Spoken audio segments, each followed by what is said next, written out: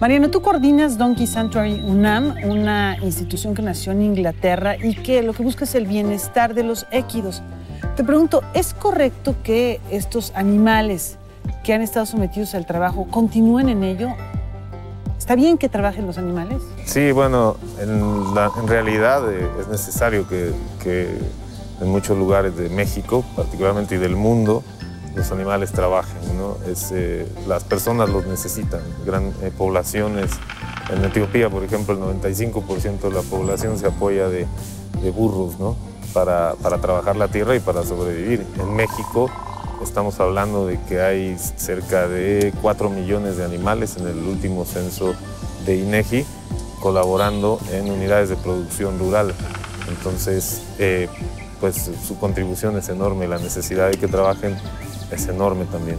Porque hay programas eh, como los que hemos presentado que lo que buscan es retirarlos del trabajo. Dicen que los animales no están para eso. Claro, en las ciudades no, en el asfalto no debe trabajar un animal. Entonces eh, es eh, aceptable que un animal trabaje en el campo, pero no es aceptable que un animal trabaje en el asfalto, entre los coches y pues entre la gente. No es bueno para el animal y no es bueno para esa sociedad. Cuando doy mis clases y empezamos a estudiar a los caballos, le digo a los estudiantes, vamos a ver la evolución del caballo, vamos a ver cómo evolucionó en sus aparatos y sistemas y les hago esta pregunta. ¿Ustedes creen que la naturaleza hizo al caballo para lo que lo usamos? Al caballo y al burro, porque son el mismo género, ecus. Entonces, la mayoría de ellos dice que no, porque están a favor de los animales y entonces no les gusta la idea de que trabajen. Y cuando los estudiamos, cuando vemos los cambios que hubo en la evolución, durante la evolución o a lo largo de la evolución de estos animales, los cambios que hubo en su esqueleto axial y apendicular y en sus músculos y todo, nos vamos dando cuenta que la naturaleza no los hizo para que los usemos.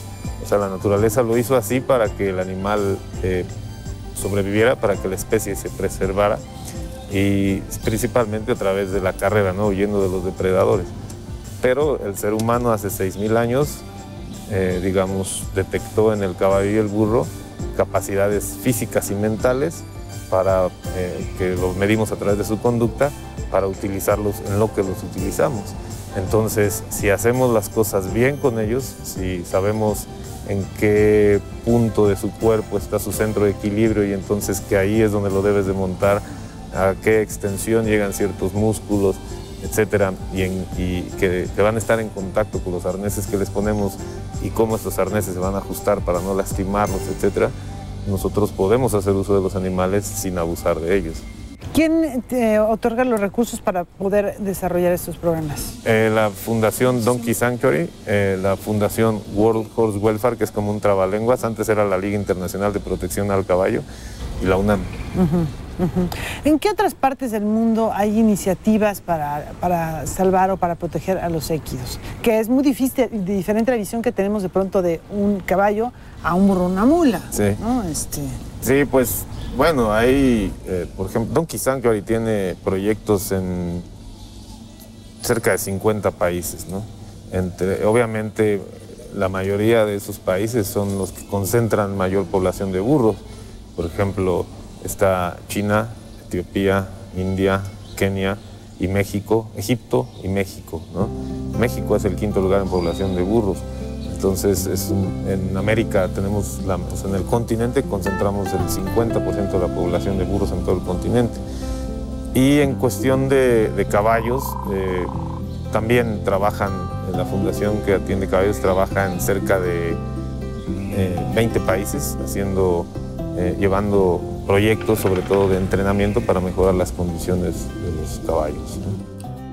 ¿Tú cómo valoras la situación de, México en cuanto al trato de estos animales? En general, en México tenemos una buena cultura.